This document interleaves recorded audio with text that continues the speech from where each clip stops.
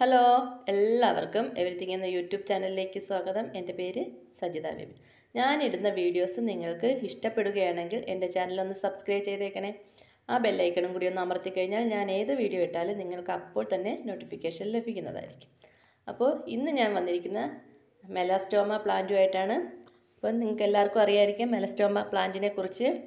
ഇത് നമ്മൾ കലമട്ടി എന്നും പറയാറുണ്ട്. പണ്ടൊക്കെ കായലിന്റെ കരയിലും വയലും ഒക്കത്തൊക്കെ ഈ പ്ലാന്റ് ഉണ്ടായിരുന്നു. ഇപ്പോൾ അത് വലിയൊരു പേരുമായിട്ട് നഴ്സറികളിലൊക്കെ ഇപ്പം മൂന്ന് കളറിൽ അവൈലബിൾ ആയിട്ട് ഉണ്ട്. അപ്പോൾ ഈ പ്ലാന്റിനെ കുറിച്ചാണ് ഇന്നത്തെ വീഡിയോ എന്ന് വെച്ചാൽ ഒത്തിരി വലിയ കെയറൊന്നും ഈ പ്ലാന്റിന് വേണ്ട. എന്നാൽ കെയറില്ലെങ്കിൽ നശിച്ചും പോവും. അങ്ങനെയുള്ളൊരു പ്ലാന്റാണ് മെലാസ്റ്റോമ പ്ലാന്റ് ഇത് ഞാൻ മൂന്നാമത്തെ തവണയാണ് ഈ പ്ലാന്റ് വാങ്ങിക്കുന്നത്. ഒരു തവണ വാങ്ങിച്ച് എനിക്കതിനെപ്പറ്റി കൂടുതൽ അറിവില്ലാത്തത് കൊണ്ട് ആ പ്ലാന്റ് നശിച്ചു പോയി. രണ്ടാമത്തെ പ്രാവശ്യം ഞാൻ ഇതേപോലെ ഈ വയലിന്റെ കരയിൽ നിന്ന് ഒടിച്ചു കൊണ്ടുവന്ന് കുത്തി നോക്കി. അപ്പോഴും പിടിച്ചില്ല. ഇതിപ്പോൾ മൂന്നാമത്തെ പ്രാവശ്യമാണ് ഞാൻ ഈ പ്ലാന്റ് വാങ്ങിച്ചേക്കുന്നത്. ഇത് കുഞ്ഞ് ആയിരുന്നു മുപ്പത് രൂപയുടെ ഒരു കുഞ്ഞ് പ്ലാന്റ് ആയിരുന്നു ഇതിപ്പോൾ മൂന്ന് മാസം എത്തിയിട്ടുണ്ട്. മൂന്ന് മാസത്തെ വളർച്ച ഈ പ്ലാന്റിനുണ്ട്. ഒരു മാസം കഴിഞ്ഞപ്പോൾ പൂക്കാൻ തുടങ്ങി.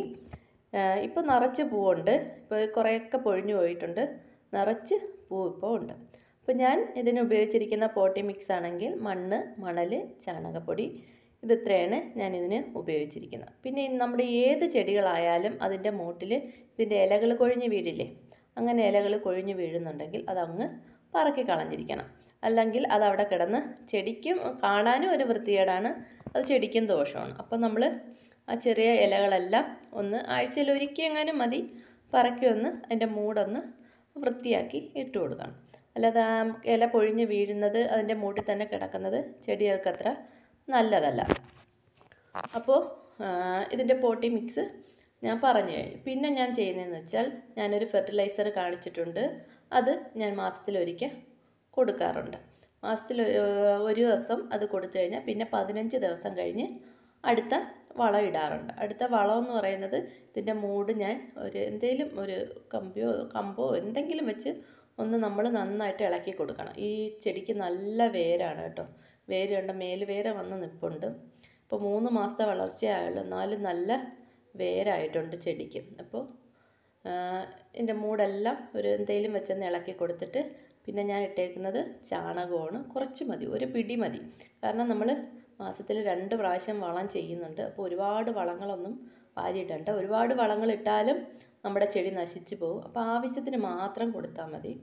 ഒരു പിടി ചാണകപ്പൊടി. നമ്മൾ കൈക്ക് ഒരു പിടി ചാണകപ്പൊടിയും ഒരു ചെറിയ സ്പൂൺ. നമ്മൾ ഐസ്ക്രീമൊക്കെ കുടിക്കുന്ന സ്പൂണില്ലേ?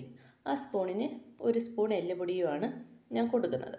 അപ്പോൾ മാസത്തിൽ രണ്ട് പ്രാവശ്യം. ഒരു പ്രാവശ്യം ചാണകപ്പൊടി എല്ലുപൊടിയും കൊടുക്കും ഒരു പ്രാവശ്യം ഫെർട്ടിലൈസർ ഒഴിച്ചു കൊടുക്കും ആ ഫെർട്ടിലൈസറിന്റെ വീഡിയോ ഞാൻ ചെയ്തിട്ടുണ്ട്. അത് നിങ്ങൾ കണ്ടില്ലെങ്കിൽ ഒന്ന് കണ്ടു നോക്കുക ഓക്കെ അപ്പോൾ അത് രണ്ടുമാണ് ഇതിനായിട്ട് ഞാൻ വളമായിട്ട് കൊടുക്കുന്നത്. പിന്നെ നനയെന്ന് വെച്ചാൽ ആവശ്യത്തിന് നനയ്ക്കാം. എന്റെ മൂട്ടിൽ നമ്മൾ നോക്കിയിട്ട് നനവ് നനവില്ല വെച്ചാൽ നമുക്ക് നനച്ചു കൊടുക്കാം. നനയ്ക്കുന്നത് നമുക്കിതിന്റെ ഇലയെല്ലാം നനയത്തക്ക രീതിയിൽ തന്നെ നനച്ചു കൊടുക്കാം. അതിലൊന്നും ഒരു പ്രശ്നവുമില്ല പിന്നെ വെയിൽ. വെയിൽ ഞാൻ ഒത്തിരി നല്ല ചൂടത്ത് വെച്ചിരുന്ന ഇതിന്റെ ഇലകൾ ഇലകളല്ല പൂക്കൾ ഒന്ന് താന്ന് നിൽക്കുന്ന കാണാം. വൈകിട്ടാകുമ്പോൾ അത് ശരിയാവും. അതുകൊണ്ട് ഞാൻ ഒരു മൂന്ന് നാല് മണിക്കൂർ വെയിൽ കൊണ്ടു കഴിഞ്ഞാൽ ഒന്ന് തണലത്തോട്ട് മാറ്റി വയ്ക്കാറുണ്ട്. ഒരു മീഡിയം വെയിലുള്ളിടത്ത് വെച്ച് വളർത്താൻ പറ്റുന്ന ചെടിയാണ്. ഒത്തിരി വെയിൽ വേണ്ട ഒരു മീഡിയം വെയിൽ. ഒരു ഷെയ്ഡ് പോലെ വെയിലടിച്ചാലൊന്നും കുഴപ്പമില്ല. അല്ലാതെ ഒത്തിരി വെയിൽ ആവശ്യമില്ലെന്നാണ് ഞാൻ മനസ്സിലാക്കിയത്. അപ്പം ഞാൻ ഒത്തിരി വെയിലുള്ളിടത്ത് വെച്ച് നോക്കിയിട്ടുണ്ട്. വെച്ച് നോക്കുമ്പോൾ ഈ പൂക്കളെല്ലാം ഒരു ഉച്ചയാകുമ്പോൾ അങ്ങ് കൂമ്പി നിൽക്കുന്ന കാണാം. പക്ഷെ വൈകിട്ടാകുമ്പോൾ അത് തിരിച്ച് വരും. എന്നാലും ഞാൻ അങ്ങനെ നിൽക്കുന്നത് എനിക്ക് എന്തോ പോലെ തോന്നുന്നുണ്ട്. ഞാൻ ഇത്തിരി തള്ളത്തോട്ട് വെക്കാറുണ്ട്. പിന്നെ ഇതിന്റെ പ്രൊപ്പഗേഷൻ. പ്രൊപ്പഗേഷൻ എന്ന് പറഞ്ഞാൽ ഇതാ ഇതേപോലെ നമ്മൾ ഒത്തിരി മുറ്റിയതുമല്ല എങ്കിൽ ഇളവുമല്ല. ഒത്തിരി ഇളം കമ്പുമല്ല. ഒരു മീഡിയം ടൈപ്പിലുള്ള കമ്പ് വേണം നമ്മൾ ഒടിച്ച് കുത്തി ഇതിന്റെ തൈ പിടിപ്പിച്ചെടുക്കാൻ. നമ്മൾ ഒത്തിരി മുറ്റിയ കമ്പ് വെച്ച് നോക്കിയാൽ നമുക്ക് തൈ പിടിക്കത്തില്ല. അത് ഉറപ്പാണ്. ഞാൻ പറഞ്ഞില്ലായിരുന്നോ? ഞാനൊരു കമ്പ് ഒടിച്ചുകൊണ്ടൊന്ന് കുത്തിയെന്ന്. അത് ഞാൻ നല്ല മുറ്റിയ കമ്പ് നോക്കിയാണ് ഒടിച്ചുകൊണ്ടൊന്ന് കുത്തിയത്. അന്ന് എനിക്ക് അറിയില്ലായിരുന്നു ഇത്. അപ്പോൾ അത് പിടിച്ചിട്ടില്ല. ഞാൻ അല്ലാതെ ഈ ഇളം കമ്പ് ഞാൻ കുത്തി നോക്കിയപ്പോൾ അത് മൂടി പിടിച്ച് കിട്ടേ എനിക്ക് ചെയ്തു.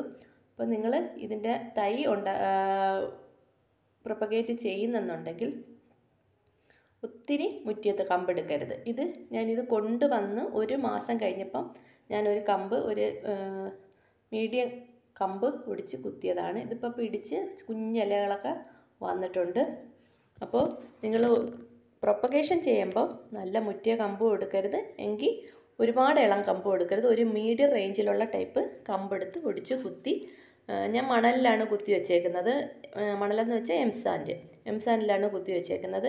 കുത്തി വെച്ച് കുറച്ച് നനച്ചും കൊടുത്തിട്ട് തണലത്തോട്ട് മാറ്റി വയ്ക്കും പിന്നെ ഇത് മൂട് പിടിച്ച് ഒരില പുതുതായിട്ട് വന്നു കഴിയുമ്പോൾ മാത്രമേ ഞാനത് പുറത്തോട്ട് എടുക്കാറുള്ളൂ. ഇതിപ്പോൾ ഞാൻ അന്ന് കൊണ്ടുവന്നപ്പോൾ ഒടിച്ചു കുത്തിയതാണ്. ഒരു മാസം കഴിഞ്ഞപ്പോൾ രണ്ടുമൂന്ന് പൂവൊക്കെ പിടിച്ച് ഒരു മാസം കഴിഞ്ഞപ്പോൾ ഒടിച്ചു കുത്തിയതാണ്. പക്ഷേ ഇപ്പോൾ അത് നന്നായിട്ട് കിളിച്ച് വന്നിട്ടുണ്ട്. ചിലപ്പോൾ ഈ പ്ലാന്റ് അങ്ങനെ നശിച്ചു പോയാലോ എന്ന് വിചാരിച്ചാണ് ഞാൻ അങ്ങനെ ചെയ്തത്. അതിനകത്ത് തളിരുണ്ടായിരുന്നു അതുകൊണ്ട് ഒന്ന് ഒടിച്ചു കുത്തിയതാണ്. പക്ഷെ അത് പിടിച്ച് കിട്ടി കേട്ടോ. അപ്പോൾ നിങ്ങളിത് പ്രൊപ്പഗേഷൻ ചെയ്യുന്നത് ഇങ്ങനെ തന്നെ ചെയ്യണം. അപ്പോൾ അടിപൊളി ഒരു പ്ലാന്റാണ് ഇപ്പം മൂന്ന് കളറിലൊക്കെ ഇത് കിട്ടുന്നുണ്ട്. എന്റെ കയ്യിലാകെ ഈ ഒരു കളർ മാത്രമേ ഉള്ളൂ. മൂന്ന് കളറിൽ കിട്ടുന്നുണ്ട്. വൈറ്റും പിന്നെ ലൈറ്റ് വയലറ്റ് ആണെന്ന് തോന്നുന്നു. അത് മൂന്ന് കളറിൽ കിട്ടുന്നുണ്ട്. അപ്പം നമ്മളൊന്ന് ശ്രദ്ധിച്ചു കഴിഞ്ഞാൽ നിറച്ച് പൂവിടുകയും ചെയ്യും. അപ്പോൾ എല്ലാവരും ഇതേപോലെ ഒരു പ്ലാന്റ് വാങ്ങിച്ച് നട്ടു നോക്കുക. അപ്പോൾ എല്ലാവർക്കും താങ്ക്